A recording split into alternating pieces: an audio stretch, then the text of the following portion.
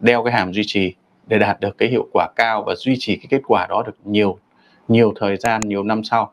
Và giúp cho cái hàm nó được có độ bền thì chúng ta sẽ phân tích các cái hệ thống duy trì nó như thế nào và chúng ta có thể hiểu.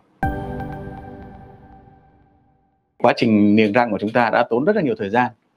À, bạn nào niềng răng thì chúng ta cũng thấy rồi là gì? Chúng ta sẽ mất khoảng ít nhất phải một năm để chúng ta bắt đầu làm những cái việc mà chúng ta di chuyển răng và giặt đều răng. Có những cái điều trị chúng ta tốn nhiều năm 2 năm 3 năm, thậm chí 4 năm 5 năm. Vậy thì cái quá trình đeo hàm duy trì của chúng ta, tại sao nó lại quan trọng như vậy? Và nó sẽ giúp cho chúng ta làm sao? Đảm bảo cái kết quả. Thứ nhất là về mặt phía bác sĩ điều trị, thì hàm duy trì nó cũng là một cái công cụ để giúp cho ổn định cái khớp cắn khi chúng ta kết thúc điều trị. Bởi vì chúng ta không thể thể cố định dài trong một cái thời gian dài cho bệnh nhân. Bởi vì cái quá trình niềng của chúng ta đã, đã mất quá nhiều thời gian rồi. Đặc biệt là trong những cái trường hợp mà chúng ta thấy những cái men răng nó yếu chúng ta cần phải tháo bỏ sớm khi cái, cái răng nó chưa được ổn định. Bởi vì khi chiếc răng nó được di chuyển từ một vị trí ban đầu đến một cái vị trí là gì? Mới thì nó sẽ phải trải qua cái việc là gì? Nó sẽ phải di chuyển. Chính quá trình di chuyển đó thì nó là gì? Cái việc cấu trúc nó được tái cấu trúc nhưng mà cái phần cấu trúc đó nó chưa được ổn định sau khoảng 2 3 tháng thậm chí có thể 5 6 tháng sau thì các hệ thống răng của chúng ta nó mới sự ổn định. Đặc biệt các cái răng cửa của chúng ta là gì nó nó có thể là gì dưới sự áp lực của môi, má, lưỡi của chúng ta thì nó có thể làm cho một cái sự di chuyển. Một phần nữa là gì?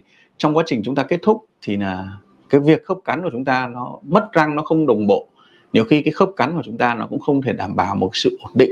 Nghĩa là sự lưng đỡ về khớp cắn nó có sự ổn định thì nó không không đạt được tối đa nên chúng ta vẫn phải duy trì đến về về mặt của bác sĩ và giúp cho cái quá trình duy trì của cái kết quả nó được nhiều thời gian sau khi điều trị. Đối với bệnh nhân thì cái việc mà đeo hàm duy trì nó sẽ giúp cho chúng ta làm sao giữ được cái form cung hàm của chúng ta một cách ổn định theo ba chiều không gian chúng ta có theo chiều ngang đúng không? Đấy, theo chiều trước sau và theo chiều trên dưới. Nó sẽ làm cho cái sự ổn định của cung hàm của chúng ta nó tốt trong cái bề mặt khớp cắn. Nhưng chúng ta thấy rằng là gì? Có rất là nhiều các câu hỏi trên các hội nhóm. Khi bác sĩ Trung đi một vòng trên nền tảng internet thì mọi người không biết là đang dùng cái hàm gì. Có những bệnh nhân thì dùng hàm thì sau vài hôm nó đã hỏng rồi. Có bệnh nhân thì sẽ bị bong. Có những bệnh nhân thì là gì? Bảo là hàm duy trì của em rất là bền. Như vậy hôm nay chúng ta sẽ phân tích tại sao nó bền và tại sao có những hàm duy trì của chúng ta lại không đạt tiêu chuẩn. Thì đầu tiên chúng ta thử search lên trên nền tảng internet một chút xíu xem rằng là trên đó có những cái thứ gì để, để về phần hàm duy trì. Thì bác sĩ Trung có search trên internet ở đây. Thì ở đây là gì? Chúng ta chúng ta vào cái internet chúng ta thấy là có rất là nhiều các loại hàm duy trì khác nhau. Rất là nhiều các loại hàm duy trì khác nhau. Có những cái duy trì chúng ta thấy là gì? Duy trì mặt lưỡi. Những cái duy trì mặt lưỡi. Có những cái duy trì của chúng ta là duy trì bằng khay trong suốt. Có những cái duy trì của chúng ta là gì? Làm bằng những cái hàm nó có một cái dây cung bằng sắt đằng đằng phía trước như thế này. Thì là gì? Chúng ta thấy là đây là ba cái loại hàm cơ bản mà chúng ta thấy là gì?